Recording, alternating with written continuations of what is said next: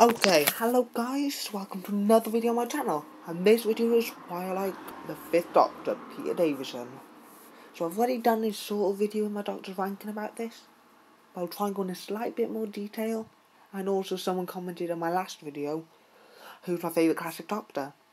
So, I thought I commented who it was, and some more I do like, or who were growing on me. But now I thought I'd make a video on it, just explaining why.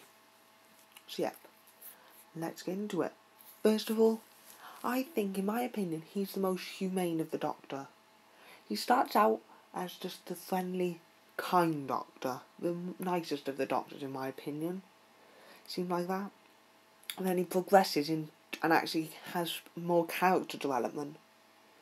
Okay, similar to what happened with Matt Smith. To be fair, he's, I would compare him Matt Smith in that sense. Sure, he hasn't got the comedic value that Matt Smith has, but Matt Smith started out just light and happy, and as series progressed, it got sort of darker. So yeah, that is something I like about him. He was a doctor who had character development. Some doctors just don't really have much development, like the third Doctor, for example. I mean, I'm not saying I don't like him. I'm not saying I dislike this about that Doctor, but he was mainly just working for UNIT, doing what the Brigadier said. Had sort of class had class personalities with the Brigadier. The third Doctor did. So yeah, he didn't really progress as a character. The third Doctor, but the fifth Doctor progressed, and he was the most humane to begin with. He act sorry about the background noise. I'll wait a second. But he actually acted more like a person really than some of the doctors in most of his episodes. Okay, the next point is he mean in my opinion, he maintained a good quality throughout most of his all of his run, honestly. Because I mean, I don't like the Mara, the two Mara stories. I mean, those I really don't like the psychedelic aspect of them. But I've seen like on Lord Sly's video, he likes them.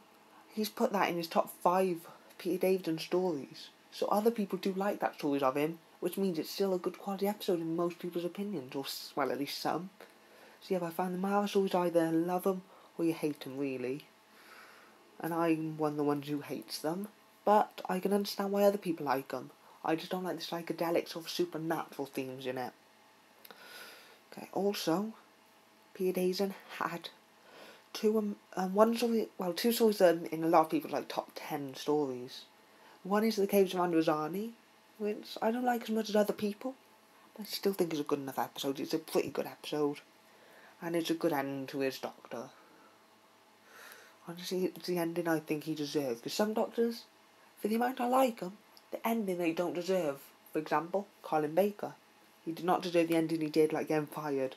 I thought, I think he's a great doctor with Trial of a Time Lord Vengeance on Varos. I think he's a good doctor. So yeah. And he didn't get an ending he deserved. Peter Davison actually did. With with the Caves of Androzani. And a, a pretty good story. Also, Earthshock.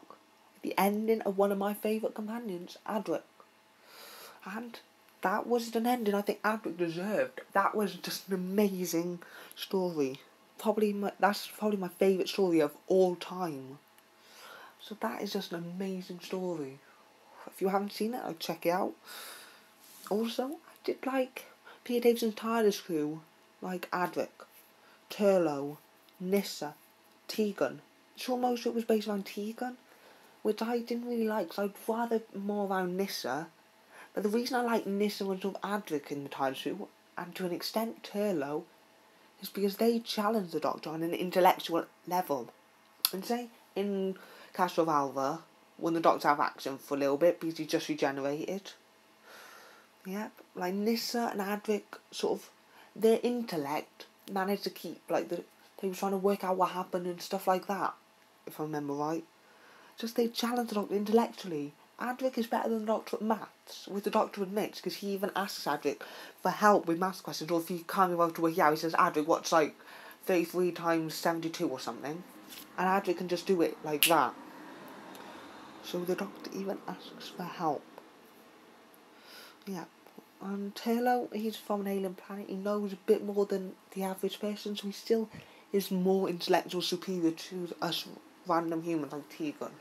And then Tegan is sort of the relatable companion. Tegan's a companion like us, who's probably got the same intellect as us, and would have the same reaction if we was in that situation or something. So yeah, Tegan's the, the relatable one. Nyssa, Adric and Turlough were sort of the intellectual, superior, smarter characters.